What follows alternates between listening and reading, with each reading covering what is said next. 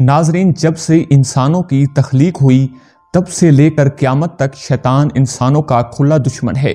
क्योंकि अल्लाह तबारक वाली कुरान पाक में इर्शाद फरमाता है, और बेशक शैतान तुम्हारा खुला दुश्मन है। शैतान को यह सब पता है कि इसका अंजाम क्या होने वाला है। लिहाजा इसी वजह से क्यामत के कायम होने से पहले पहले शैतान अपनी पूरी ताकत और पावर लगाकर इंसानों को गुमराह करना चाहता है।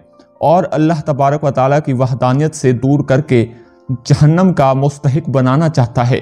नाजरीन, आज की इस वीडियो में हम आपको बताएँगे कि शैतान का अर्श कहाँ पर है और शैतान के पास कितनी ताकत और पावर है और शैतान इंसानों से कौन कौन से काम करवाने की ताकत रखता और शैतान हर इंसान के जिसम में किस तरह रहता है। और जब अल्लाह तबारक वाली ने शैतान मरदूत को अपनी बारगाह से निकाला तो शैतान मरदूद ने अल्लाह तबारक वाली से कौन कौन सी चीज़ें मांगी जिससे ये इंसानों को गुमराह कर सके?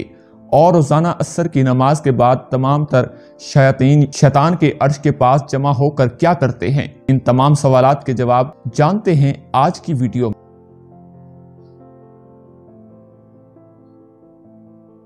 नाजरीन, जब शैतान ने हज़रत आदम सलाम को सईदा न किया तो अल्लाह तबारक वाली ने शैतान को फरमाया कि तू निकल जा। मेरी बारगाह से तुझ पर क्यामत तक लानत हो। इस तरह जब शैतान बारगाह इलाई से मरदूर हो गया तो शैतान अल्लाह तबारक वाली की बारगाह में अर्ज़ करने लगा, या रब्बुल मुझे क्यामत तक ज़िंदा रहने की मोहलत दे दी जाए। तो अल्लाह तबारक व वाली ने इसको क्यामत तक ज़िंदा रहने की मोहलत दे दी। इसके बाद शैतान मरदूद अल्लाह तबारक व वाली की बारगाह में अर्ज़ करने लगा, कहने लगा, या रब्बुल आलमीन तूने हज़रत आदम सलाम की वजह से मुझे जन्नत से तो निकाल दिया और क़यामत तक ज़िंदा रहने की मोहलत भी दे दी। अब मुझे औलाद आदम पर गलबा भी अता फरमा दे। तो अल्लाह ताला ने इरशाद फरमाया, मैंने तुझे अम्बिया इक्राम के अलावा औलाद आदम पर गलबा दिया। इसके बाद शैतान बोला कि, या रब्बुल आलमीन, इसके अलावा कुछ और भी मुझे अता फरमा। अल्लाह तबारक वाली ने इशाद फरमाया कि, जितनी हज़रत आदम आसमाम की औलाद होगी उतनी ही तेरी औलाद होगी। इसके बाद शैतान मरदूद बोला, या रब्बुल आलमीन, मुझे कुछ और भी अता फरमाया तो अल्लाह तबारक वाली ने इशाद फरमाया कि इंसानों की सीने तेरा मस्कन होंगे और तू इनके जिस्मों में खून की तरह गर्दिश करेगा।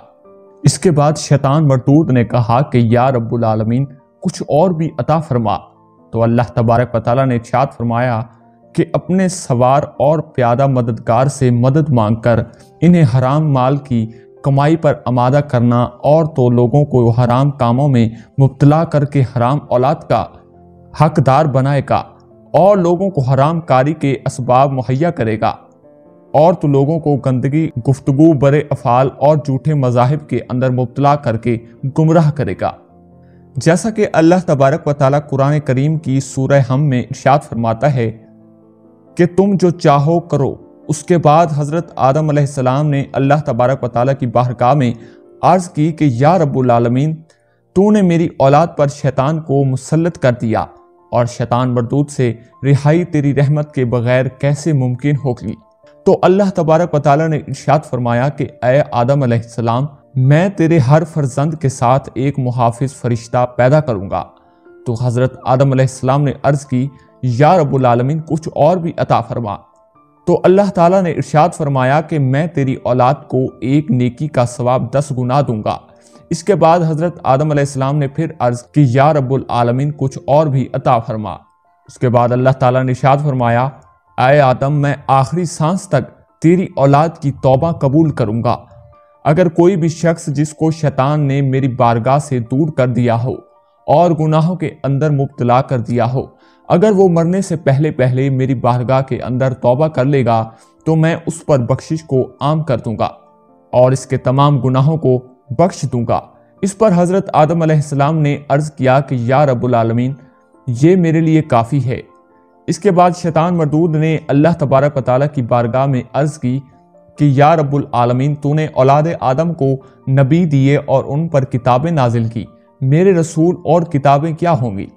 अल्लाह तबारक वाली ने इर्शाद फरमाया, काहन तेरे रसूल और गद्दी हुई खालें, तेरी किताबें, तेरी हदीस झूठ और तेरा कुरान गंदे अशार जो इस्लाम की मुखालफत में लिखे हों, और तेरा मुआजन गाने बाजे, तेरी मस्जिद बाज़ार और तेरा घर हवाम खाना, और तेरा खाना वो जिस पर मेरा नाम न लिया गया हो, और तेरा पीना, शराब और औरतें तेरा जाल हैं। नाजरीन, ये सब कुछ मिलने के बाद शैतान मरदूद ने तबारक व की बारगाह में अर्ज़ की ए रबुल आलमीन, मैं ज़रूर तेरे बंदों की राहों में बैठूँगा और इनको तेरी राह से गुमराह करूँगा और तुझसे दूर कर दूँगा। अल्लाह तबारक वाली ने इर्शाद फरमाया, तू मेरे बंदों को मेरी राह से दूर करेगा और गुनाहों के अंदर मुबतला करेगा। तो मैं अपनी रहमत के सदके अपने बंदों को माफ़ करता जाऊँगा और जन्नत में दाखला अता फरमाऊँगा। और जो मेरी रहमत के बावजूद कुफर शिरक के अंदर मुबतला हो जाएँगे और तेरे बंदे बन जाएँगे तो मैं इनको तुम्हारे साथ जहन्नम के अंदर डाल दूँगा। और जो मुझे छोड़कर तेरे पैरोकार बन जाएँगे तो उनका इंजाम तेरे साथ जहन्नम के अंदर होगा। नाजिन दुनिया के अंदर रोज़ाना जितने भी गुनाह होते हैं, वो तमाम के तमाम गुनाह शैतान और शैतान के चेले करवाते हैं। और इन तमाम तर गुनाहों की लिस्ट रोज़ाना शैतान को पेश की जाती है। जैसा कि हज़रत जाबिर रज़ी अल्लाह तला बयान करते हैं, रसूल खुदा सल्लल्लाहु अलैहि वसल्लम ने इरशाद फरमाया कि शैतान अपना तख्त पानी पर सजाता है, फिर वो अपने लश्करों को रोज़ाना, फिर वो अपने लश्करों को रवाना करता है और वो लोगों को गुमराह करते हैं। इन शैतानी लश्करों में ज़्यादा मकरूम वो शैतान होता है जो सबसे ज़्यादा गुमराह कन हो।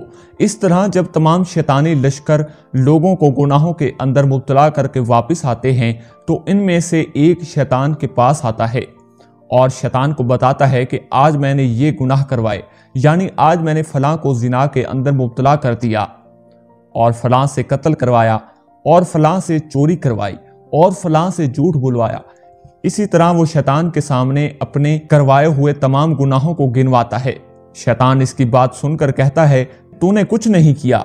हजूर पाक सल्लल्लाहु अलैहि वसल्लम ने इरशाद फरमाया, फिर एक दूसरा शैतान आता है। और वो शैतान से कहता है कि, मैंने फला आदमी का पीछा इस वक्त तक नहीं छोड़ा जब तक मैंने इसके और इसकी बीवी के दरमियान जुदाई न डाल दी। हजूर सल्लल्लाहु अलैहि वसल्लम ने इरशाद फरमाया कि शैतान अपने चेले की ये बात सुनकर बहुत खुश होता है और इसको अपने करीब कर लेता है और इसको अपने गले से लगाता है। और इसको कहता है कि तूने बहुत अच्छा काम किया।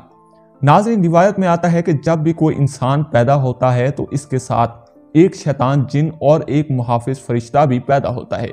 और वो मुहाफिज फरिश्ता शैतान मरदूत से इंसान को बचाता है।